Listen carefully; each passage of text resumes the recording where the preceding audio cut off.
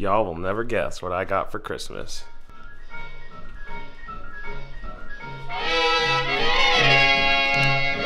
Look at that little bugger.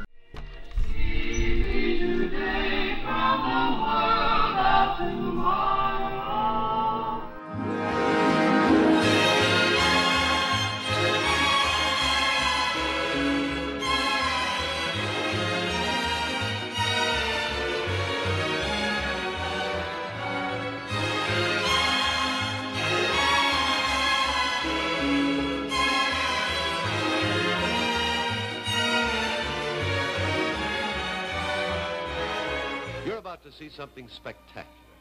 I don't think anyone watching can deny that this is one of the great advances in the history of television. It's the Philco Safari, the world's first battery-powered television set. This little bad boy was a neat little portable introduced by Philco in 1959. Uh, believe it or not, it's battery powered. It's not running off battery now, but it was initially designed to be battery powered. All the evidence I can see points to this being the first mass produced battery powered television, making it like the first truly portable television ever created. With that being said, for some reason that claim is highly disputed, so please, if somebody can find some information that proves to the contrary, please send it my way. I would love to educate myself. As you can see, this baby is super clean. Has all the adjustment knobs. Even has the uh, coveted battery meter. Again, back to the battery thing. This this thing was battery powered. Uh, my understanding was is that it would go for several hours, but you actually really want to keep track with with this little meter because after that point, even if it kept going, it would degrade the battery beyond use. Uh, a couple neat little things. The first thing you'll notice with this is that although the body looks fairly thin compared to how big that CRT is, it's still pretty awkward sized. The CRT is actually only a two inch screen, but the viewing window is a two way mirror. The image from the CRT is reflected off the mirror coating on the back of the window. The image is then magnified by a curved mirror in the back of the viewing hood. This magnified image is then visible through that two way angled mirror. So it's really neat. It's like a two way window. This baby works good. I'm using my modulator to transmit a nice little channel 5 with some with some demo. Whoop, you saw a little horizontal phase. But yeah, she's really, really, really clean. I'll tell you what's really neat about this set is that back in the day it was fairly expensive actually. It cost at that time $250. That's the equivalent today of $2,200. I mean, you could get a Predicta on sale cheaper than what this was going for. So, truthfully, it's a little shocking that as many of them have survived, so it seems, although most of them are missing that coveted hood.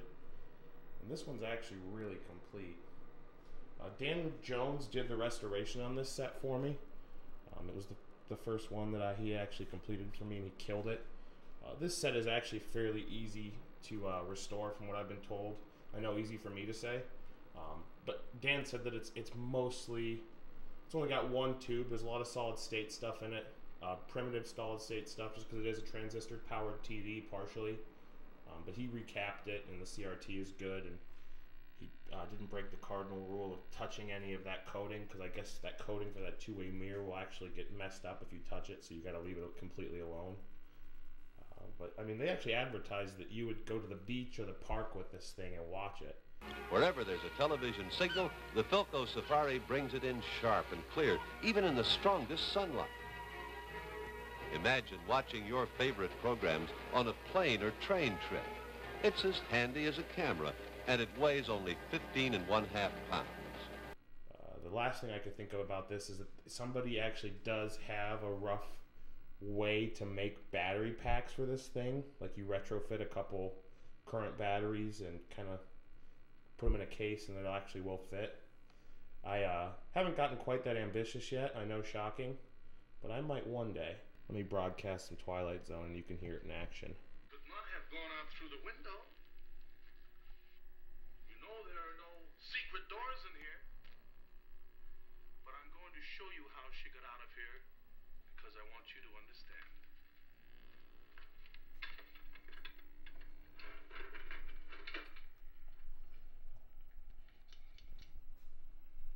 I take my scissors.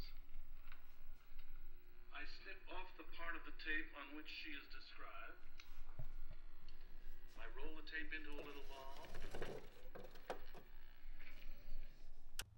So when I don't have pieces that I'm currently restoring, or I'm in the middle of restoring, I'm still in the middle of restoring that Cambridge from the last episode. I'm gonna kind of segue and use the time I normally use to feature a restore to feature a new and exciting find.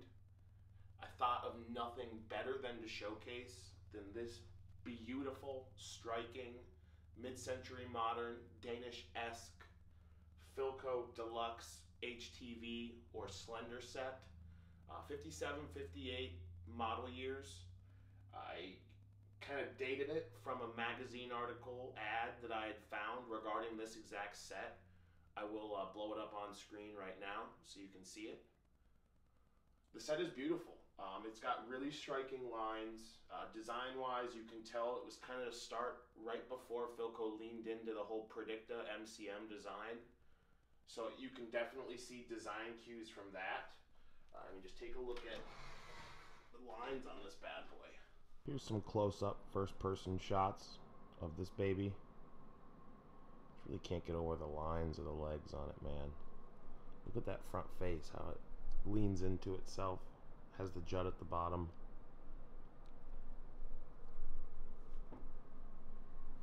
That's really a good looking set.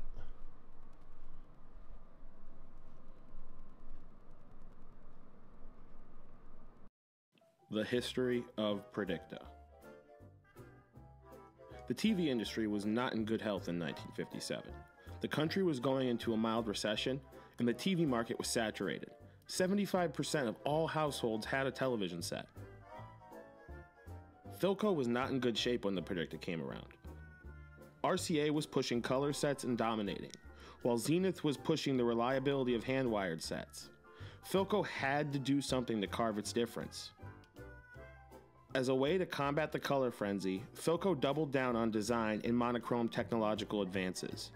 Philco would do as it had done before and allow its R&D department to show the way for the concepts of the future. The Predicta was a chassis style of console and tabletop sets, occupying minimal space, emulating a theater view, with the picture just seeming to hang on the wall. To give some proper credit, we must mention the team responsible for the design revolution. In 1954, Herbert V. Gosweiler joined Philco as a manager of industrial design for consumer electronics. He had studied at Chicago School of Art before serving as a captain in World War II. Gosweiler was very excited at the prospect of the Predicta. The product planner Armin Allen can recall him saying, What do you think? Will it sell? Allen was so concerned with the radical design, he just said something non committal and changed the subject.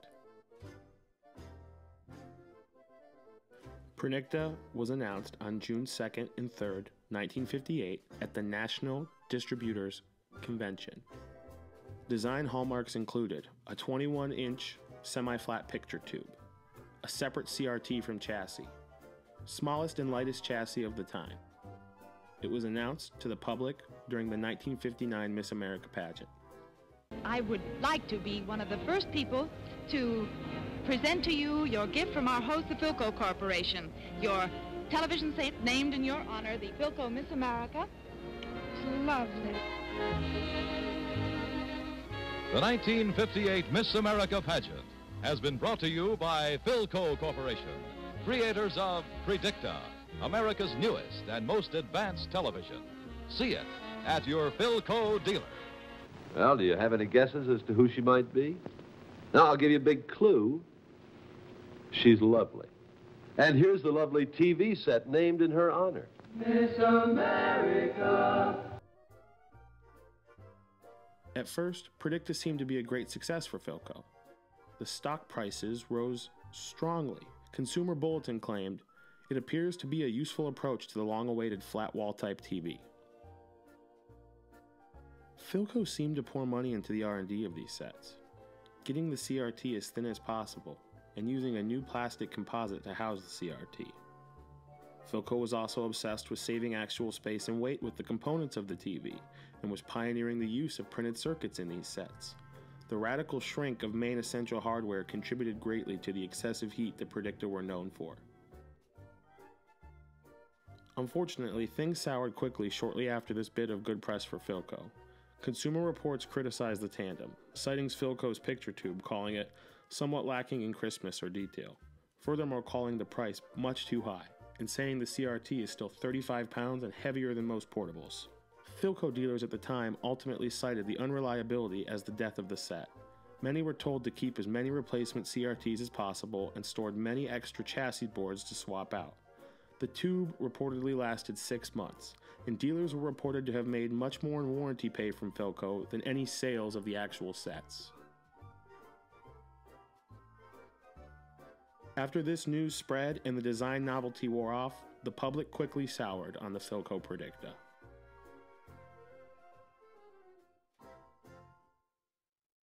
Unfortunately, the Predicta now resides in the dustbin of history.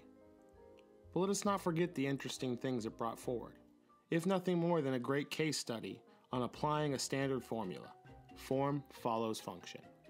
I'd like to give a special thank you to the Antique Wireless Association in the Old Timers Bulletin May 1994 edition, Philco 1958, an era of unique TV designs by John Oklowitz, giving me my primary information source.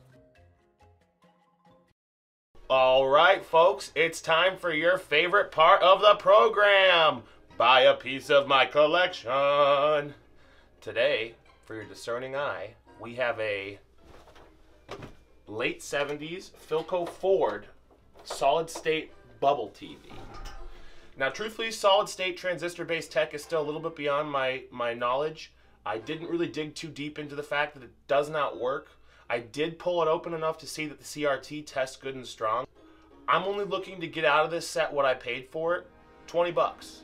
And uh, fortunately for this set, I bought it on eBay and it was shipped to me, so I would feel confident shipping it. Um, UPS, USPS, FedEx, whatever you prefer. I have the original box I bought it in, not the original box with the set per se, but uh, it was packaged very well.